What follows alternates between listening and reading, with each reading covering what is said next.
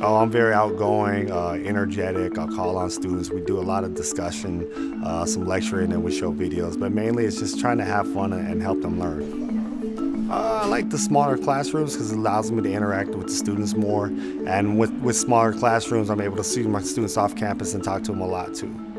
I like teaching my sports history classes. I love talking about sports, and a lot of students like talking about sports. But through that, then we can talk about race and diversity and gender and new sports. So we have a lot of great conversations. I think they like the energy and they like that I'm passionate. Um, some people call me a corny uh, type of person, but but I do it purposeful. But I, I think they like that. It makes them feel comfortable learning like difficult subjects.